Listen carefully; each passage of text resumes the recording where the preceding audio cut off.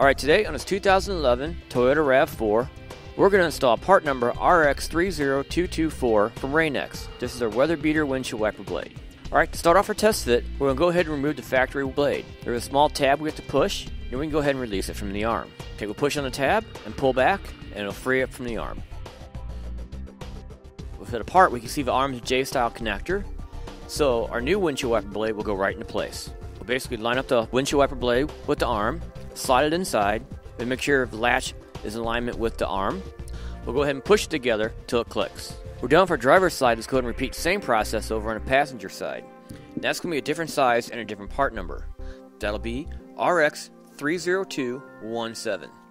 Okay, a few other things to know about these windshield wiper blades. That has a frame style design. It has multiple pressure points to hold the blade against the windshield. And the rubber squeegee also has UV inhibitors to help protect it from the sunlight.